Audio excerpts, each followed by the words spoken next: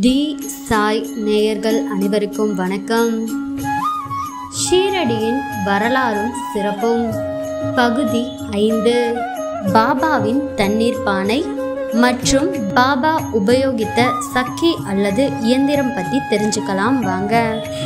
பாபாவின் தண்ணீர் பானை. தானே உருவாக்கிய நந்தவனத்தில் இருக்கக்கூடிய கிணத்துல தண்ணீர் எடுத்து வந்து துவாரகா மாயில தான் வச்சிருந்த மண்பானையில நிரப்புவது பாபாவுடைய வழக்கம். துவாரக மாய்க்கு வரும் பக்தர்கள் பாபாவின் தீர்த்தம்னு இந்த தண்ணீரை அன்போட குடிப்பாங்க. பாபா உபயோகித்த அந்த பானை இப்போதும் துவாரக மாயில இருக்கு. பாபாவின் பக்தர்களால் அதில் நீர் நிரப்பப்படுது. இந்த பானையிலிருந்து பக்தர்கள் சிறிது தண்ணீர் எடுத்து குடிச்சு தங்களுடைய தீராத நோய்களில் இருந்தும் உலக வாழ்க்கையின் துன்பங்களில் இருந்தும் தங்களை விடுவிச்சுக்கிறாங்க அப்படின்னு நம்பப்படுது.